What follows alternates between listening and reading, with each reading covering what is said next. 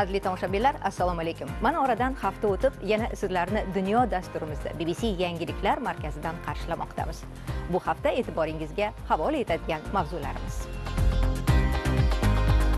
Eski shinalar ortidan kun ko'rayotgan misrdagi qishloq hayotiga bir nazar. An'analarni buzib universitetga yo'l olgan shri lankalik qizlar.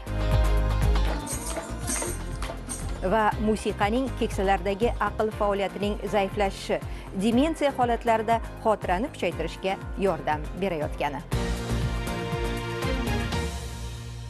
Bu gal dunyo bo'ylab sayohatimizni rossiyaning sibir mintaqasidan boshlaymiz. Sayyoramiz iqlimi o'zgarishi oqibatida u yerdagi yer osti doimiy muzliklari erimoqda. Erish jarayonida esa atmosferaga juda ko'p issiqxona gazlari tarqaladi va o'z navbatida bu iqlim o'zgarishini yanada tezlashtiradi. Ya'ni sabab va oqibatning mana shunday uzluksiz zanjiri vujudga kelgan. Bbc muxbiri stiv rozenberg bu vaziyatni yaqindan o'rganish uchun sibirga yo'l oldi.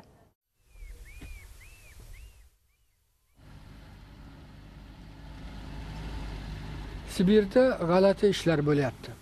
Mana bular churabcha shahridagi iqlim o'zgarishining dalolatlari harorat ko'tarilishi oqibatida doimiy muzlik erib tuproq cho'kmoqda.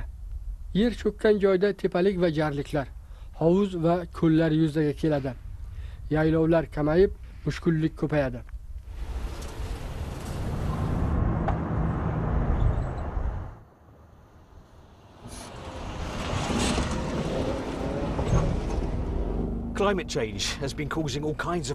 Iqlim o'zgarishi bu yerlarda ko'p muammolarga sabab bo'lyapti.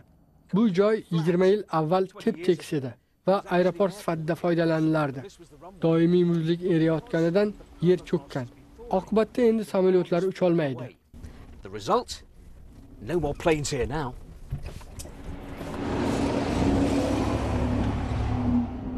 sibirdagi butun boshli shahar yakutsk doimiy muzlik ustiga qurilgan.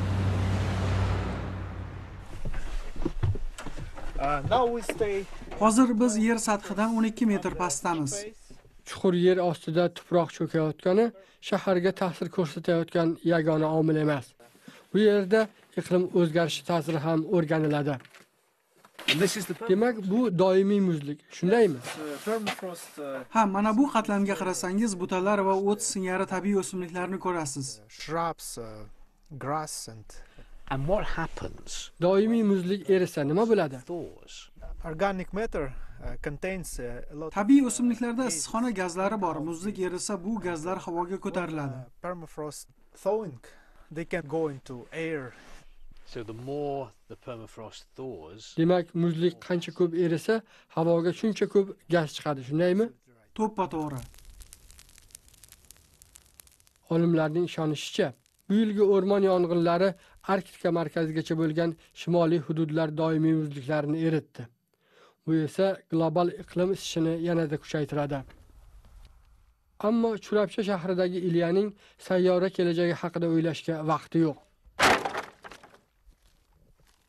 u ko'lmaklarni yopib katta ko'lga aylanishni to'xtatmoqchi. Aks holda uyini ham suv yutadi chunki bu yerda hamma uylar doimiy muzlik ustida. Yer cho'kishi oldini olmasa bo'lmaydi.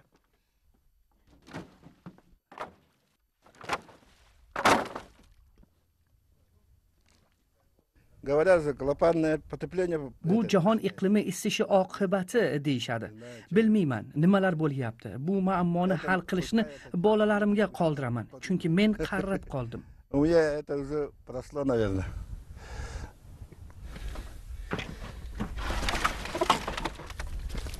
biroq iqlim o'zgarishini jilovlab bo'lmasa sibir va ilyaning bolalari kelajagi nima bo'ladi? Butun boshli jamoalar va ularning xo'jaliklari xavf ostida. Zamin qiyofasi buzilgani o'zgarish allaqachon boshlanganini eslatib turadi. Misrda ishsizlik darajasi juda yuqori. Aholining deyarli 30 foizi doimiy ishsiz. Ammo ovloq bir qishloqda bu muammoni hal qilishga muvaffaq bo'lganlar. Qishloq ahlining deyarli hammasi eski shinalarni qayta ishlash bilan shug'ullanadi. Bu ishning xavfli tomoni ham yo'q emas lekin ishsiz bo'lgandan ko'ra yaxshiroq. Keyingi lavhamiz ana shu haqda.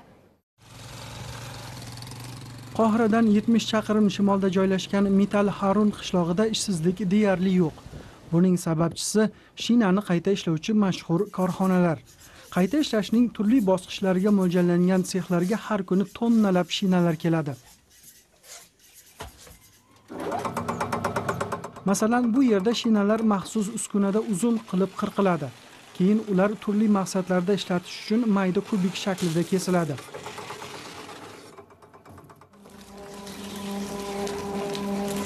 shinalar alohida tarkiblarga bo'lingan ajratib olingan simlarni metallurgiya kombinatlari olib ketadi.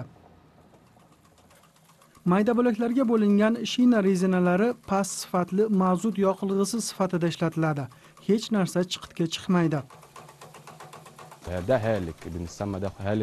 Ishimiz ishlatilgan va ishlatilmagan shinalarni kvadrat shaklda kesishdan iborat. Bu ish avtomatlashtirilgan apparatlar va qo'l mehnati orqali amalga oshiriladi. Apparat kesadi ishchi esa tozalash kesish va tayyorlash bilan shug'ullanadi. Ishchilarni o'rgatishimizga kamida ikki yil ketadi. Bu yerlarda boshqa ish yo'qligi sabab korxonalar mit al harun va qo'shni qishloqlardagi minglab odamni ish bilan ta'minlaydi.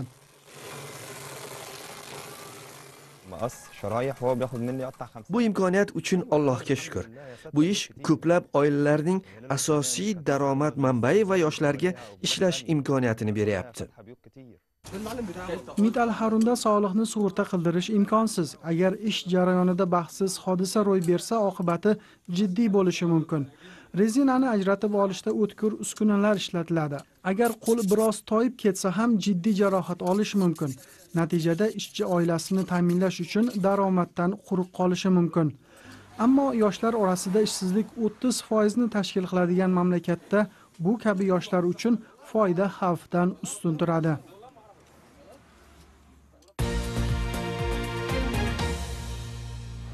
shri lanka choyining ta'mi va dong'i hind choyinikidan qorishmaydi bu choy barglarini asosan ayollar teradilar ular bilan birga dalada bo'lgan farzandlari esa maktabga borish imkonidan mahrumlar lekin bu sharoitga qaramay tog' yonbag'ridagi bir qishloq qizlari universitetga kirishga muvaffaq bo'lishibdi bunga qanday erishganlari haqida hikoya qilamiz எங்கள் ஊரில் வாழ்கிற யாருமே அந்த வேலை செய்- எல்லாமே அதான் செய்கிறாங்க ஆனால் அப்போ இப்படி இருக்கப்ப அஹ், எந்த bu ishni hamma qiladi beobro' ish degan narsa yo'q lekin shunday qarash bor ta'lim bizning yagona najotimiz இருக்கிறது எங்களுக்கு ஒரே ஒரு ஆப்ஷன் கல்வி மட்டும்தான் அது மூடி மூலமாக ஒரு வீடியோ தேடிக்கலாம்னு நாங்கள் நினைக்கிறோம் tereza shri lanka choy plantatsiyasidan universitetga borgan ilk ayol bo'ldi u o'qituvchi bo'lmoqchi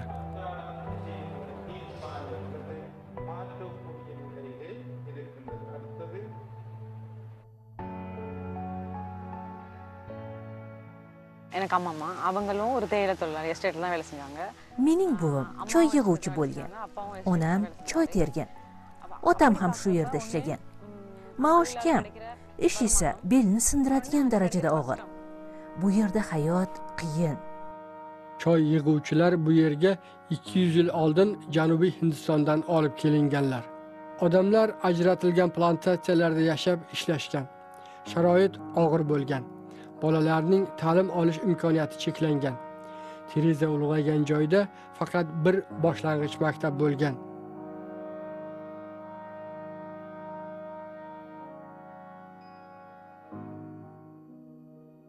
நானும் ஒன்றாம் ஆண்டுலேருந்து நாலாம் ஆண்டு வரைக்கும் இங்கே தான் படித்தேன் boshlang'ich sinflarimda eski fabrikada korxonada o'qiganman sinfxonamiz mana bu yerda edi ko'pchilik ayol kishiga bilim kerak emas deb o'ylardi ayrim qizlar 1-2 yilgina maktabga qatnaydi. Ayrimlari umuman bormaydi. Bizning maktabimiz bois ko'p narsa o'zgardi. 2006 yili boshlang'ich maktab o'rta maktabga aylantirildi. O'quvchilar uchun universitetga borish imkoniyati tug'ildi. Teresa, Rupali de Padichichi, படிச்சிச்சு வீட்டு கஷ்டத்தை நினைச்சு நினைச்சு அதுவும் o'smirligi paytida tereza maktabni tashladi kelib bizga yordam bera boshladi lekin o'qituvchilari qattiq turib olishdi bizdan uni maktabga qaytarishni talab qilishdi biz jazirama issiqda ham sharros yomg'ir ostida ham choy yig'amiz qizim o'qituvchi bo'lsa jamoamizni o'zgartiradi deb umid qilamiz sharnanga virupapadne ta'til payti tereza eski maktabida dars beradi Ular bolalar bilan sahna asari qo'yishdi.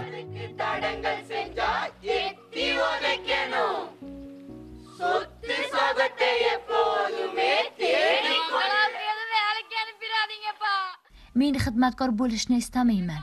Meni kiyim korxonasiga yubormang. Ular ota onalarga murojaat qilib bolalarni maktabga yuborishni so'rashadi அவங்களுக்கு அந்த டைம் எழுத வாசிக்க தெரிஞ்சு பேர் எழுத தெரிஞ்சாவே ஒரு படிப்பு மாதிரி தான் அவங்க அப்ப biz boshqalarni o'rganibgina qolmay boshqalarni o'qitishimiz ham kerak o'shanda o'zgarishlar yuz beradi maktabimiz qishlog'imizga o'zligini qaytardi va yangi dunyoni ochib berdi Britaniyada yashayotgan va etnik ozchiliklardan bo'lgan shuningdek keksalikdagi aql faoliyatining zaiflashishi ya'ni demensiyadan aziyat chekayotganlar uchun musiqa dardlariga davo bo'lishi aniqlangan. Bbc ularga yordam berish uchun hatto jahon musiqasi maxsus katalogini ham tuzdi. Shabnam mahmud keksalar va yoshlar o'rtasida musiqa bog'liqlik yaratayotganiga guvoh bo'ldi. Amma, do you like music? oyijon musiqani yaxshi ko'rasizmi uning kayfiyati tobora tushib go'yoki bu yorug' dunyo bilan butkul aloqani uzib qo'yayotgandek ko'rinadi. Qani unga musiqa qo'yib beraychi dedim va shu zahotiyoq oyimdagi o'zgarishni sezdim.